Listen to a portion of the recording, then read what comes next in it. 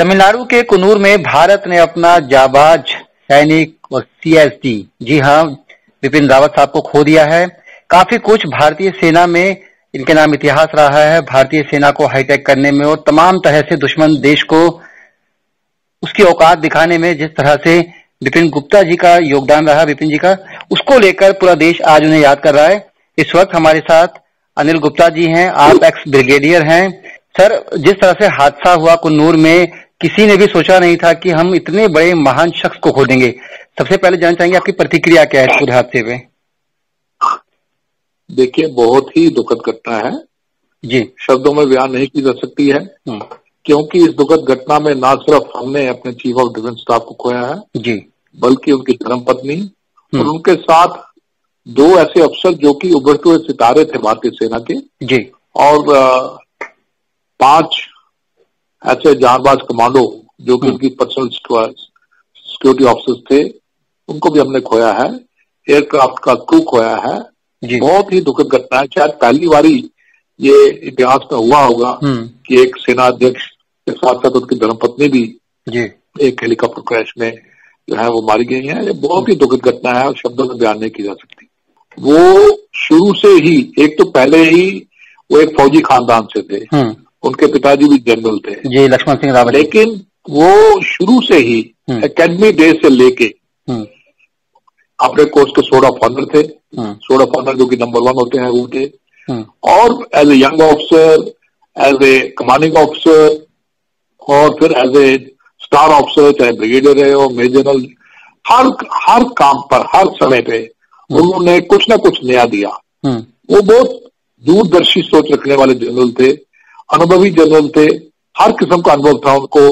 चाहे वो काउंटर इंसल्सी का था चाहे लाइन ऑफ़ कंट्रोल का था चाहे लाइन ऑफ़ एक्चुअल कंट्रोल का था या फिर कन्वेंशनल वॉरफेयर का था। हम्म। हर किस्म का अनुभव वो रखते थे बहुत पढ़ते थे इसलिए उनकी विजन जो है बहुत दूर की थी। उन्होंने यूएसए के अंदर कमांडर जनरल स्टाफ कोर्स भी किया फॉरन आर्मी के साथ ट्रेनिंग भी की और हर मैं कहूँगा कि हर उहदे में हर वक्त जहाँ भी वो रहे। उन्होंने ना सिर्फ़ सेना को योगदान दिया हम्म। बल्कि जो उनके आसपास के लोग होते थे उनका भी मन जीत लेते थे। जी। एक बड़े ही खुश मिजाज के व्यक्ति थे मिलनसार थे हंस के मिलते थे। दूसरों का दुख दर्द जो है उसको समझते थे। इम्पैथिक जो है देखिए सेना के अंदर इम्पैथी बहुत कम होती है हम्म। लेकिन वो ऐसे एक अफसर थे ऐसे अधिकारी थे जी। जो कि इम्पैथी में काफ़ी बिलीव करते थे हम्म। लोगों की यातनाओं को अपनी यातना समझते थे लोगों की तकलीफों को अपनी तकलीफ़ समझते थे और उनको दूर करने में मदद करते थे। जी। तो मैं तो कहूँगा कि बहुत ही हीरा जो है वो हम्म। भारतीय सेना ने खो दिया जी बिल्कुल देश ने खो दिया है। सर इसके साथ साथ ये भी कहा जाता है कि अधिक ऊंचाई वाले स्थान पर युद्ध और आतंकवाद विरोधी गतिविधियों की खासा जानकारी उनके पास रहती थी अनुभव बहुत था उनके पास। इसके साथ साथ मैंने कहा कि वो बहुत अनुभवी थे। जी कश्मीर किस्म के क्षेत्र में जी। अनुभव था। और हाल ही में जब चीन के खिलाफ स्टैंड ऑफ़ हुआ तो उन्होंने साबित कर दिया हम्म। कि किस प्रकार एक दृढ़ कमांडर जो है हम्म। उससे वो अपनी सेनाओं का मनोबल बढ़ा सकता है। हम्म। क्योंकि वो पीछे नहीं हम्म। और ना ही उनके सोच में पिछड़ने की कोई सोच थी। वो हमेशा आगे जाना चाहते थे। और वैसा ही जज्बा उन्होंने अपने ट्रुप्स के अंदर पैदा किया। और उसका नतीजा है कि चीन आज जी।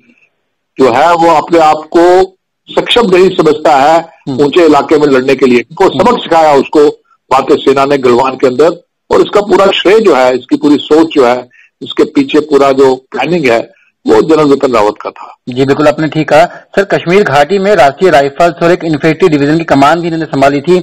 आप ब्रिगेडियर रहे हैं खुद का कैसा एक्सपीरियंस रहा? क्या कभी उनसे बातचीत हुई कभी मुलाकात हुई हो तो कैसा व्यवहार लगता था उनका? कैसे जनरल विपिन रावत मेरे से जूनियर थे। जी। हमने कभी साथ में सर्विस नहीं की। जी। लेकिन मैंने उनको देखा है काम करते हुए। हम्म। जब वो जहाँ पे जम्मू कश्मीर के अंदर बारामूला में नाइन डिवीज़न के कमांडर थे नाइनटीन डिवीज़न के कमांडर थे तब मैंने उनसे मुलाकात की थी। मैं उनसे मिला था। उसके बाद अ, मैं तो रिटायर हो गया लेकिन वो सेना में रहे।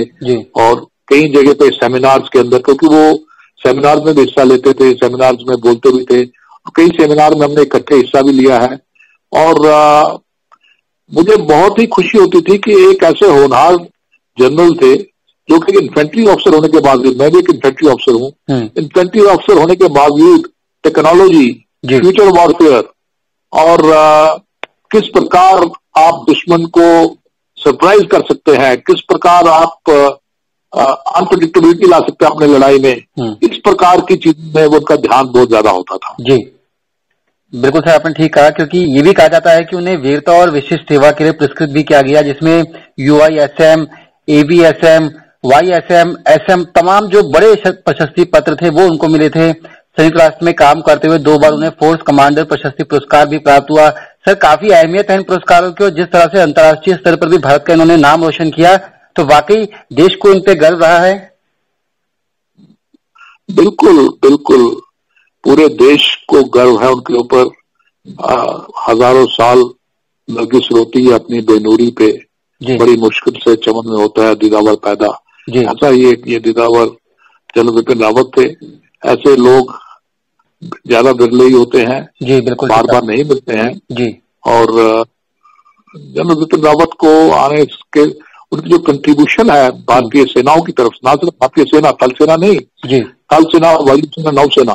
चीफ ऑफ़ डिफेंस स्टाफ उन्होंने जो ज्वाइंटनेस की तरफ़ काम किया तीनों सेनाओं को इकट्ठा लाने की तरफ़ काम किया हम्म। उन्होंने जो तीनों सेनाओं की जो हाई डिफेंस ऑर्गेनाइजेशन है भारतीय सेना की उसको ठीक करने की व्यवस्था की किस प्रकार सेना और सिविल के बीच में लिहाजान होना चाहिए उसकी तरफ़ उन्होंने ध्यान दिया किस प्रकार आर्मी हेडक्वार्टर में या डिफेंस सर्विस हेडक्वार्टर के अंदर डिफेंस ऑफिसर्स के साथ साथ I S I F S officers होने चाहिए। ये सारी चीज़ें जो हाई डिफेंस ऑर्गेनाइजेशन का एक बहुत बड़ा योगदान है उनका हम्म। जिसके लिए वो हमेशा याद किए जाएँगे। और अभी जो थिएटराइजेशन हो रही थी सेना की हमारी जो थिएटर कमांड बन रही थी उसको वो चाहते थे कि जल्दबाजी में ना किया जाए। और उसे हमें अपनी भारतीय कंडीशन को देखते हुए किया जाए ना कि हम किसी बात दूसरी सेना को कॉपी करें। तो ये सारी चीज़ें इस बात को दर्शाती हैं कि ना सिर्फ़ वो दूरदर्शी थे साथ साथ ही वो अपनी सेना पे अपने पन पे बड़ा फकर करते थे और इसलिए उन्होंने भारतीय सेनाओं को आत्मनिर्भर बनाने का भी एक लक्ष्य उन्होंने रखा था।